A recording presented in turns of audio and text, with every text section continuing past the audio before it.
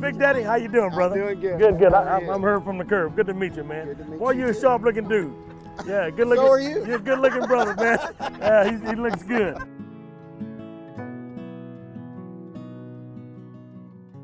My name is Herb Watts, nicknamed Herb from the Curb, and I've been with Southwest Airlines uh, for 21 years. Come June, I don't believe in the negative spirit or bad spirit because I, I don't, I don't consume negative. I consume positive. And I see people come up, and if they're happy, I try to enhance it. If they're not happy, I try to give it to them. We love them for choosing us. We want to embrace them and let them know that how much we want to please them and, and how much we want to, uh, you know, provide great service to them. They will return and feel the love. You know, they'll feel it, carry it with them, and always, you know, keep us in the back of their mind that hey, you know, whenever they fly, they want to fly Southwest. Yeah, girl, we had to see everybody smiling because you're going Southwest. I'm with the great airline anyway, and just by that, I like to show it. I think in some ways it's similar to what people would expect, and in other ways it's completely different than what people would expect. I mean, our schedules are crazy, but we get to interact with so many different people. That's what we do here, right? We move people to the things that are important in their life. And so no matter who you interact with here at Southwest, you're going to interact with the flight attendant. We are what you see on every single flight. Typical day is atypical, I think. We have flights, you know, practically 18 hours a day here. Uh, so we get to the gate, uh, we'll usually talk to the operations agent and the pilots. Uh, they'll give us any updates that we need to know. The operations agent will give us our paperwork so we can see what we're booked to. Uh, we'll go down to the airplane, do our safety checks. Uh, if it's a, if it's an originating flight, if it's a flight that has come in from somewhere else already, we'll help that crew clean the aircraft, see if there's any through passengers and then we'll coordinate with our agent, the operations agent, when we can start the boarding process and turn the airplane, get it onto its next destination.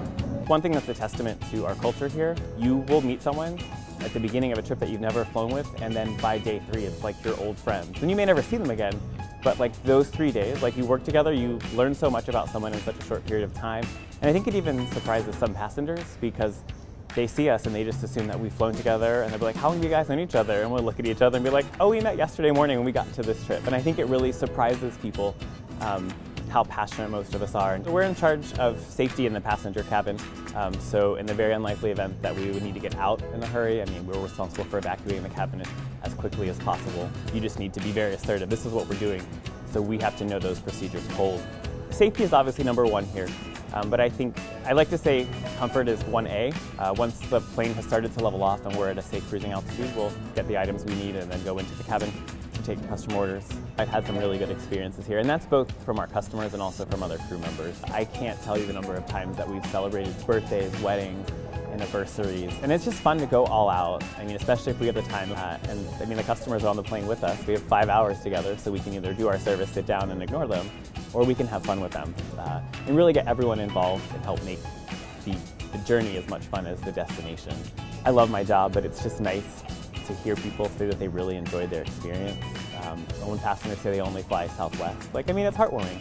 I mean, it's nice to know that I work somewhere that people respect as much as I do and that we're able to provide that experience. We are responsible for our customers' luggage to get from the aircraft to them at baggage claim. We have three-man gates, so everyone has the responsibility to get the ball rolling on the turn. So we marshal in the aircraft, and we make sure that the aircraft is plugged in. We're gonna bring a belt loader up to the aircraft.